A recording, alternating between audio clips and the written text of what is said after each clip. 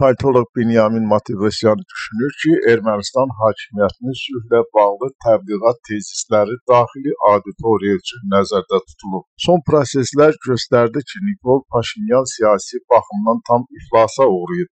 Əslində isə heç bir sülh prosesindən söhbət getmir. Azərbaycan Qarabağ məsələsini artıq öz xeyrinə həll edib. İndi Bakının hədəfi Zəngəzur dəhlizinin reallaşdırılmasıdır. Paşinyan Azərbaycanın planlarından xəbərdardır.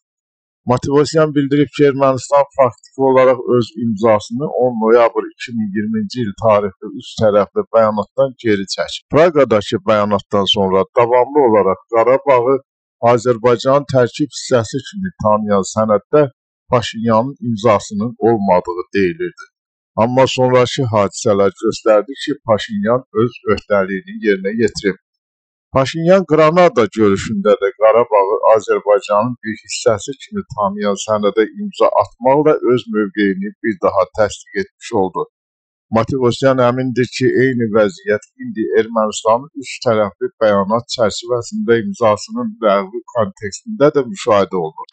Onun sözlərinə görə üç tərəfli bəyanatda 9-cu bənd də daxil olmaqla erməni tərəfinin öz xeyrinə çevirə biləcəyi iddialar var idi. Unutmayaq ki, 9-cu bənd ümumiyyətlə bütün kommunikasiyaların açılmasını nəzərdə tutur. Amma Paşinyan nəzarət funksiyalarını Rusiya tərəfinə verməkdən imtina etdi.